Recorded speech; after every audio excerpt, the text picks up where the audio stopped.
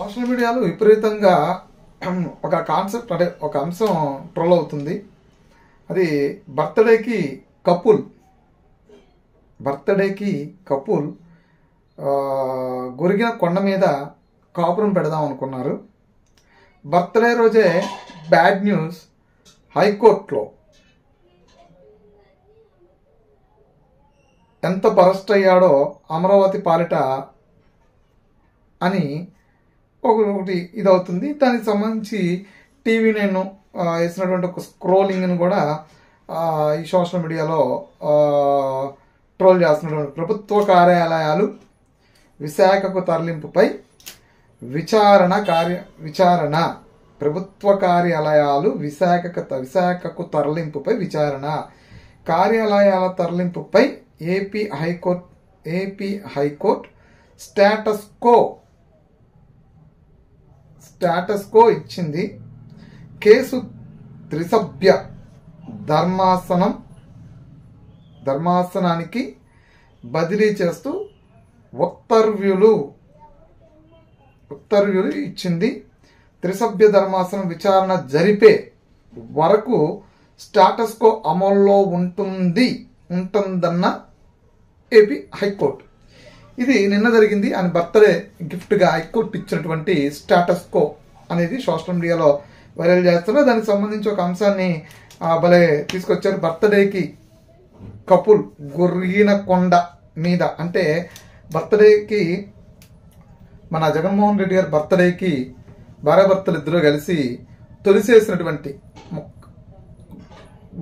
మొత్తం ఋషికోణం తొలిచేసి కట్టేసినటువంటి ఏదైతే villa palace ఉందో ఆ ప్యాలెస్లోకి బర్త్డేకి వెళ్ళిపోవాలని చెప్పని డిసైడ్ అయ్యారు. అంటే ఎప్పుడో ఇచ్చిన స్టేట్మెంట్ ఈ మధ్యకాలంలో డిసెంబర్ ఇరవై ఒకటికని డిసెంబర్ ఇరవై ఒకటి అంటే జగన్మోహన్ రెడ్డి గారు పుట్టినరోజు. ఆ రోజే కప్పులు ఇద్దరు కలిసి భారతీ రెడ్డి గారు జగన్మోహన్ రెడ్డి గారు ఇద్దరు కలిసి అక్కడ గృహప్రవేశం చేసేద్దాం అనుకున్నారు. సో ఈలోపు ఇక్కడి నుంచి కొన్ని కార్యాలయాలు తరలించాలనుకున్నారు. రాష్ట్రానికి ఎప్పుడైతే అమరావతి విషయం వెలుగులోకి వచ్చిందో రాష్ట్రాన్ని ఎప్పుడైతే రాజధానికి ఇచ్చినటువంటి భూములు ఇచ్చినటువంటి రైతులు ఎప్పుడైతే ఈ కోర్టుల చుట్టూ తిరగటం మొదలు పెట్టారో ప్రభుత్వానికి ఇప్పటి వరకు అనుకూలమైనటువంటి తీర్పు ఒక్కటి కూడా రాలేదు.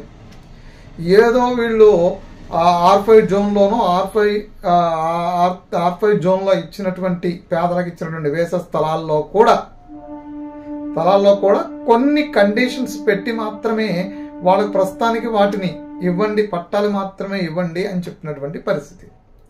ఇప్పటి వరకు ఈ రాజధాని అంశంలో రాజధాని విషయం మొదలైన తర్వాత ప్రభుత్వానికి అనుకూలంగా ఒక్క తీర్పు కూడా రాలేదు. రాకపోవడం గల కారణం ఏంటంటే వాళ్ళు తీసుకున్నటువంటి నిర్ణయాలు ఏవైతున్నాయో అవేవి కూడా ఆమోదయోగ్యమైనటువంటి నిర్ణయాలు కాదు. మూడు రాజధానుల అంశం కావచ్చు కార్యాలయాల తరలింపులు కావచ్చు పరిపాలనా కేంద్రంగా విజయ విశాఖను అనుకోవడం కావచ్చు మీరు ఎక్కడికైనా వెళ్ళి కాపురం పెట్టుకోండి. No objection. కోర్టుకు కానీ ఆంధ్రప్రదేశ్ ప్రజలకు కానీ కానీ రాజధాని ఎక్కడని చెప్పి మాత్రమే ఉండాలి. పోతే రాజధాని ఎక్కడైతే అడ్మినిస్ట్రేషన్ ఎక్కడైతే అక్కడ మాత్రమే. ఇక్కడ రాజధాని ఉంటుంది. ఇక్కడ నుంచే పరిపాలన ఉంటుంది అని ఇక్కడ సచివాలయాన్ని నిర్మించారు ఇక్కడ హైకోర్టు నిర్మించారు. ఇక్కడ హెచ్ఓడి కార్యాలయాలు నిర్మించారు కాబట్టి ఇది రాజధాని ప్రాంతంగా మాత్రమే గుర్తింపులో ఉంది కాబట్టి దీనికి ఎప్పుడు ఆమోదం ముద్ర కూడా కేంద్ర ప్రభుత్వాలు వేసినాయి కాబట్టి ఇప్పుడు కార్యాలయాల తరలింపు పేరుతో ప్రజల్ని ఇబ్బంది పెట్టి భూమిని ఇచ్చినటువంటి రైతుల్ని ఇబ్బంది పెట్టి మరొకసారి తప్పు చేయాలనుకున్న చేసిన చేయాలనుకున్నటువంటి ప్రయత్నానికి హైకోర్టు బ్రేక్ వేసింది అనమాట స్టేటస్కో ఇచ్చి మీరు అంత గతంలో కూడా ఇలాగే వెళ్ళిపోదామని చెప్పని అక్కడి నుంచి రిపబ్లిక్ డే ఉత్సవాన్ని జరిపేద్దామని చెప్పని తట్టాపుట్టా సర్దుకెళ్తే అన్ని హైకోర్టు తిరిగి వెనక రప్పించింది. దీని మీద చాలా సివియర్గా యాక్షన్ ఉంటుందని చెప్పి ప్రభుత్వ అధికారులకి గతంలోనే ఇచ్చినటువంటి వార్నింగ్లు ఉన్నాయి. అయినప్పుడు కూడా జగన్మోహన్ రెడ్డి గారు మళ్ళొకసారి మనమే అధికారంలోకి వస్తాం. మీరేం భయపడొద్దు. నేను చూసుకుంటా. హైకోర్టును కూడా ఇక్కడికి తరలించేస్తా అంటే హైకోర్టును తరలించాలి అన్నా సరే దానికి సుప్రీంకోర్టు యొక్క అనుమతి కావాలని. దానికి ఉన్నటువంటి హైకోర్టు సీజే